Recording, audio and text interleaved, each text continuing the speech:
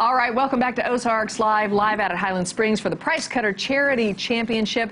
And please say hello to our friend Steph Miller of the Down Syndrome Group Hi, Steph. of the Ozarks. Thank How are you, you so Steph? much for letting see me come do this. I really appreciate it. Absolutely. This is your second year being involved with the Price Cutter Charity we, uh, Championship. one of our board members, Dana Emanuel with Modern Woodmen of America, hooked us up with Gerald and Sharon, and we met with them and thought this is a no-brainer. All of the the publicity we're going to get, and of course we're part of the charity that get a little bit of the proceeds back, so it's kind of a win-win.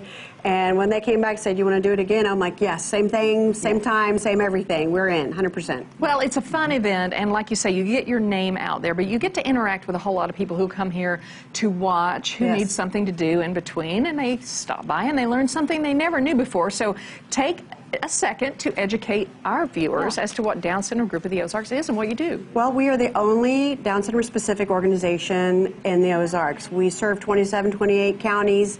Uh, we do everything from meeting with new parents or parents who have just got received a diagnosis prenatally.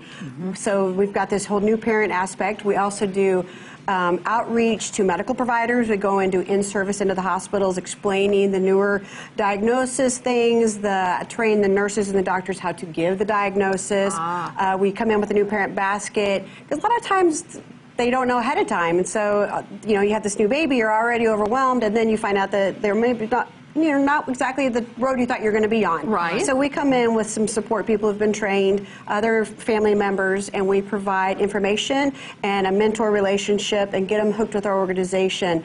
Um, we're really blessed in the Ozarks that there is the ARC and Abilities 1st and all of and CC links and stuff. So part of our job is to just get them hooked up with where they need to be hooked up with, let them know they're not alone, and that once again you're not on the journey you thought you're going to be on, but it's still a pretty amazing journey in the long run. I'm sure that's a big help for a new mother. And do you see uh, more progress if somebody starts early? Oh, definitely. Yeah. The life expectancy with someone with Down syndrome 30 years ago was 25 to 30 years old, and now it's they're looking into the 60s and 70s, and it's because of early intervention services, um, not only with our medical providers but in the schools. We're working really hard to get inclusion in a, in a general education classroom, and they're able to get services, watch their peers, learn from their peers. The peers, the the typical students, are also getting something out of it. They're learning compassion Oh, and sure they are. patience um, and that even though we may be different, we're still more alike than, than different. So it's kind of cool. That so with us being able to do that with the medical providers, we go into schools and do provide training to the paras. We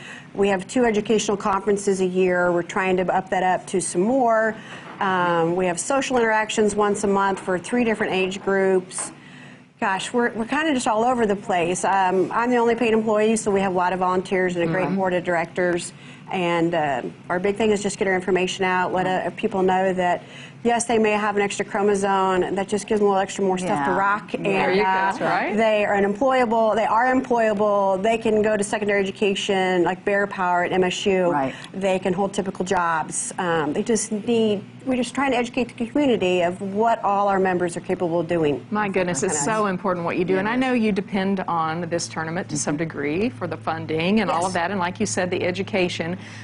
Um, so it's good to have you out here again. You said, what year is this for you here? Second year. This is the second we year. work the Jackson Brothers South tent. yeah, our, yeah. our volunteers are working as servers and cleaners and stuff like that. And then we have a hole on the ninth. Yes. Or I'm sorry, we have a tent on the ninth hole.